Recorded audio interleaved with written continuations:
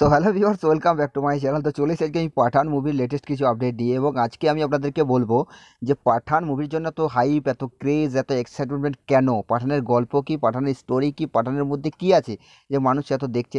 So viewers আমি সমস্ত কিছু বলব। তো বিস্তারিত জানতে হলে ভিডিওটিকে অবশ্যই শুরু থেকে শেষ পর্যন্ত ওয়াচ করবেন এবং চ্যানেলে যদি ফার্স্ট টাইম হয়ে থাকেন, তো প্লিজ চ্যানেলকে সাবস্ক্রাইব করে পাশে থাকবেন। কারণ আমি all India movie related video চ্যানেলে আপলোড করতে থাকি। তো চলুন ভিডিওটা শুরু করা যাক।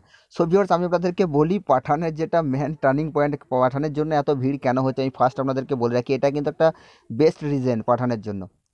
তো দেখুন, পাঠানকে যখন বয়কট বয়কট করে বয়কট গ্যাংরা পুরো ইন্ডিয়া জুড়ে একটা, কি বলব, তো পোস্টার পোস্টার ভাঙা ভাঙি আগুন জ্বালা জ্বালি করেছিল, ঠিক সেই মোমেন্টে কী হয়েছিল?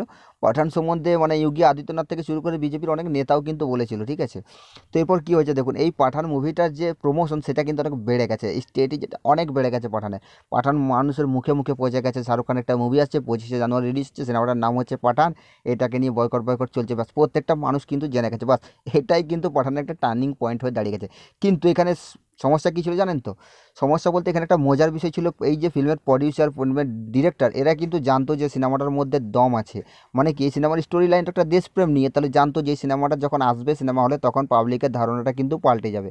এরপর যখন একশো মানুষ দেখবে, তখন ওই একশো মানুষ যখন হলে রিভিউ দেবে যে হ্যাঁ সিনেমাটা অসাধারণ সিনেমা, তখন তারপরের দিন দুশো লোক আসবে, আর ঠিক এমনটাই ঘটেছে। তারপর দেখুন, এরপর সিদ্ধার্থানন্দ আর মানে ইয়াসরাজ ফিল্মের মানে কনফিডেন্সটা তবে যখনই এই মুভিটার ট্রেলার রিলিজ হলো, তখনই কিন্তু সবকার বলতেই বন্ধ হয়ে গেল। মানে তখন থেকে সিনেমাটার হাইপ আরও বেড়ে গেলো সিনেমাটা তো দেখতেই হবে। এরপর সিনেমার যে অ্যাকশন সিকুয়েন্স বানিয়েছে সত্যি অসাধারণ। তো এরপর দেখুন সিনেমার গল্পর দিকে আমি আপনাকে যদি বলি, তো সিনেমার গল্পটা এমন কোনো আহামরি একটা গল্প নয়। আপনি যদি ট্রাইগার ওয়ার এসব দেখেছেন, তাহলে কিন্তু আপনি বুঝতে পারেন এইরকমই শাহরুখ খান কিন্তু র এজেন্টের অভিনয় প্লে করেছেন। কিন্তু সিনেমার গল্পটাকে যেভাবে প্রেজেন্ট করেছে লার্জ দার স্কেলে সেটা কিন্তু দেখার মতো। এই সিনেমার যে অ্যাকশন সিকুয়েন্স থেকে শুরু করে, সমস্ত কিন্তু অসাধারণ ছিল।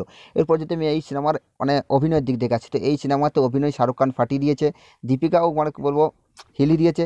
এরপর এখানে বেস্ট অভিনয় করেছে, এবার যদি আমাকে সব থেকে ভালো লেগেছে, এখানে আমাকে জনের অভিনয়টা। তো জন যে ভিলেনের রোলটা অভিনয় করেছে, সত্যি একদম ফাটিয়ে দিয়েছে।